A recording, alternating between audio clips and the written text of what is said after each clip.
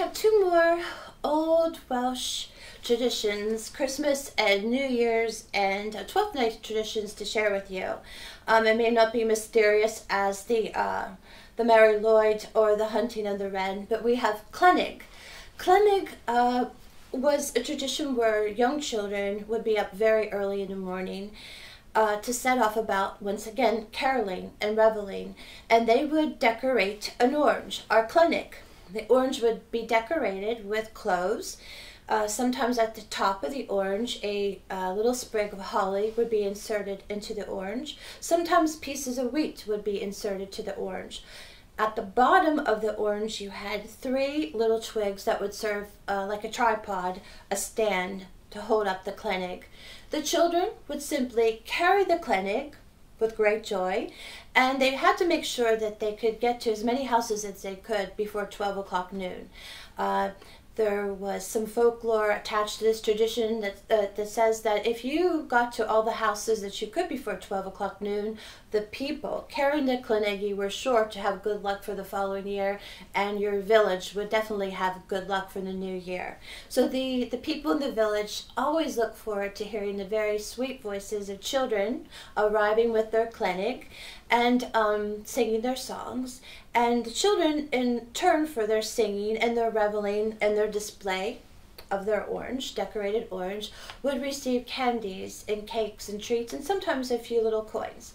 So this really is a truly beloved tradition uh, in Wales that uh, they still practice. And it would be something wonderful that you could easily make with your family uh, to keep your own Welsh traditions alive this Christmas and New Year's and Twelfth Night time. The last tradition I'm going to share with you is taffy making. Taffy making was done on Christmas Eve, and this is truly a very old tradition that's still in practice. After people would have their Christmas dinner, and after the Christmas dishes were cleaned up and the fire was set, uh, taffy making then would begin in the kitchen. And this was a, a, a, candy that was easy to make, simple ingredients uh, that didn't cost a lot to make. So many of the families uh, made this taffy for their holiday time. But more importantly, taffy was made with the idea of this in mind. Taffy took several hours to make, and this kept people awake all night long making their taffy. So then they would be awake for their early morning carols. And in the Welsh tradition, it was very important to be up very early, cock crow, very super early, uh, to sing your carols. And these carols were, were titled Plygain, Plygain carols. So the taffy making, the candy itself is a Welsh Christmas tradition.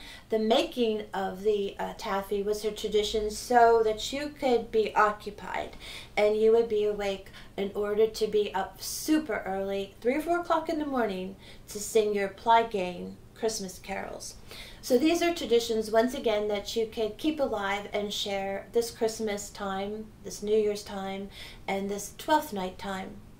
I hope you enjoyed.